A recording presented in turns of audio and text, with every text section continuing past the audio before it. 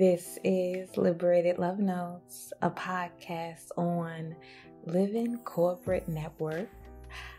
I am your host, Brittany Janay, creator of Liberated Love Notes, critical self reflections, and affirmations for the culture. Y'all, y'all already know if you if you've been here before, that Liberated Love Notes podcast is your source for weekly doses of reflections, affirmations, reimagining for us by us. Y'all, I just I love to see I love to see black folks win. Like it's a whole love language. I love to see black bodies expand walk in purpose, be a light, do the damn thing. Like, it just does something for my soul. You know, someone with whom I have the pleasure of being in community have known for a few years now is is one of those black bodies another black woman doing her thing in the in the wellness and in the wellness and, and fitness in, industry. I want to share a story reflection um, that we were just processing together that i think may be relatable or just resonate resonate i mean it resonated with me. She was sharing uh, she was sharing with me some of the uh, the challenges that she's encountered as she's began to expand expand her business. And so as I as I mentioned, she works within the wellness industry for the past 5 or maybe 6 years or so. She'd been growing under the leadership of a another wellness practitioner, uh, a black man actually, a black man. She'd been growing under, growing with, uh, under the leadership of of another black man within her industry. She shared, and I didn't even notice that she began interning with him. She began interning and, and working with him a few years back. Saw him as a, a mentor. Fast forward a few years later, she's now been able to take all that she's learned, all that she has benefited from in that space, and create her own, carve out space for her own her own business. She had opened up a whole like studio and all the things when I thought about it and as she was sharing her story, I'm like, you know, this is one of them success stories.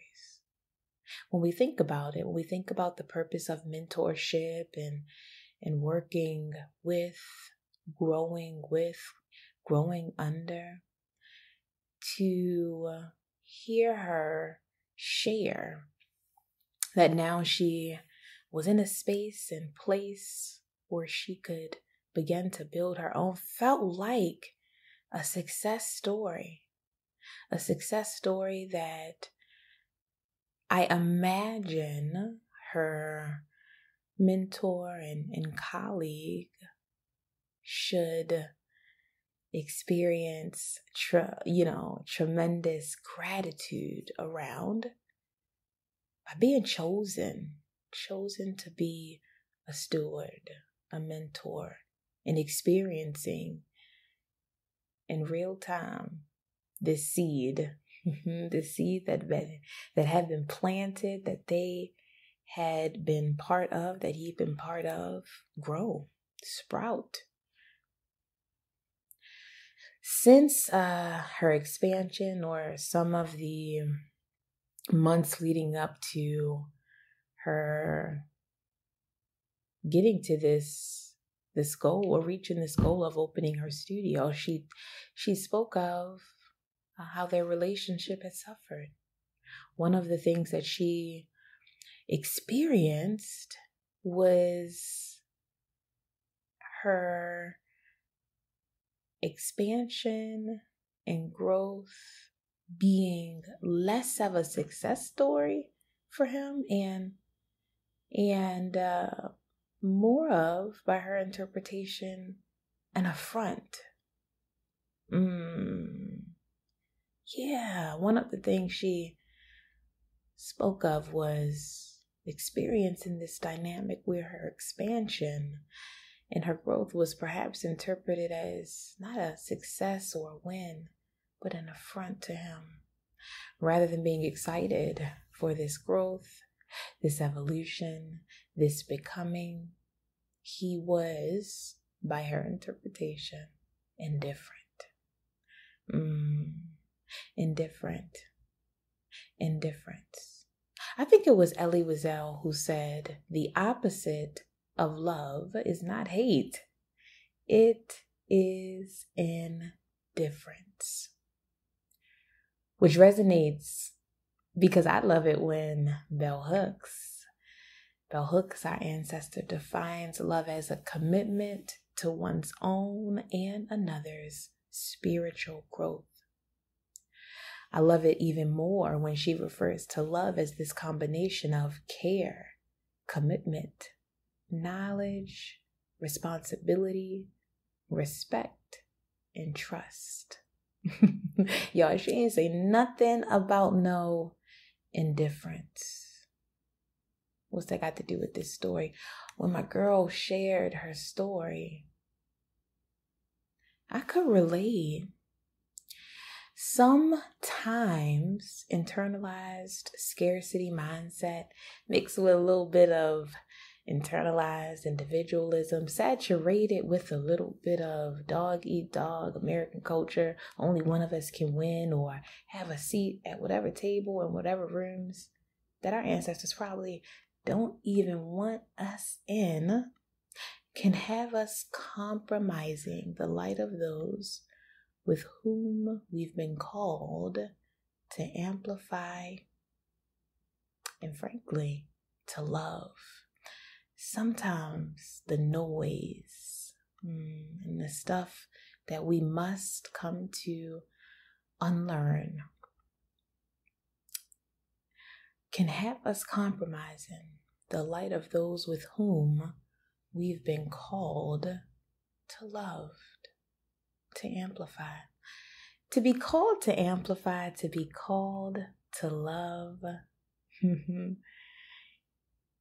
I imagine in order to be responsive to that purpose, to that beautiful call to stewardship, one must be grounded, one must be rooted, one must see themselves as human, as worthy, as enough, as as loved.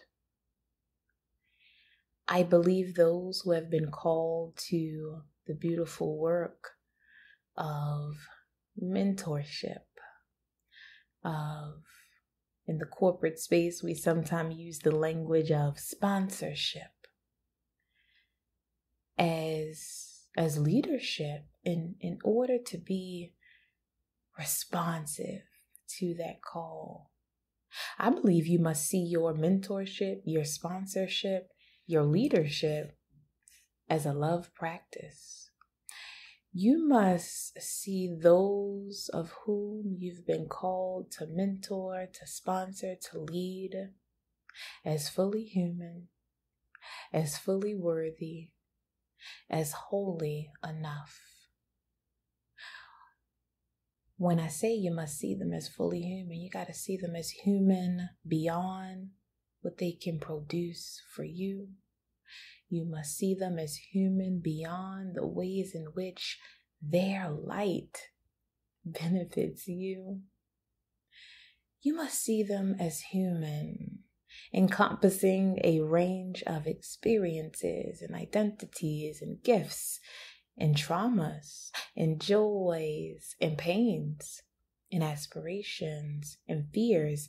I just feel like when you think of it this way, you experience this call to amplify, to steward, to mentor, to sponsor, to love as something so deeply, so deeply spiritual. And that's that's that's that's high key. I was about to say low key, y'all. That's high key political. Because we must not forget that the very function of colonialism and anti blackness is to detach us from right relationship with what? The earth, our bodies, and the spirit. And so we disrupt that when we experience those of whom with whom we are in community in the fullness of who they are. We disrupt that when we experience those with whom we've been called to steward, to amplify, to mentor, to love as fully human. Black entrepreneurs and creators mm, in the spirit of loving accountability. It's not liberation. I, I just don't know. It, it ain't liberation, it ain't for the culture. If you're using the same principles of exploitation, white supremacist cultural norms and patterns and how you and how you do business. I just don't know. I ain't gonna speak from a place of authority, but I, I just don't know if that's liberation. I just don't know if it's for the culture, if we're using the same tools. Mm. It ain't liberation if we are prioritizing power hoarding over power sharing.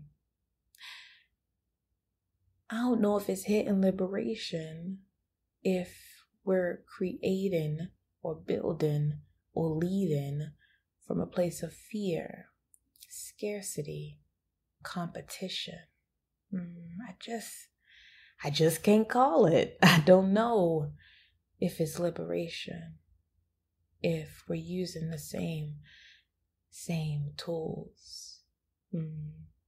Imagine this and I had a conversation with my really good friend about this this past week. And imagine if we saw our businesses as less of these like neo, you know, sharecropping, uh, right?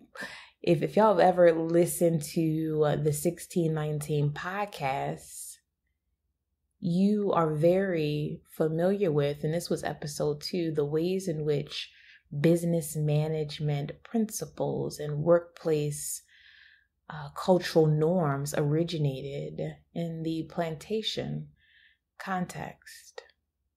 Episode 2, 1619 podcast, y'all. Imagine if we saw our businesses as less of these neo sharecropping plantations and more of or more as incubators. Mm, incubators.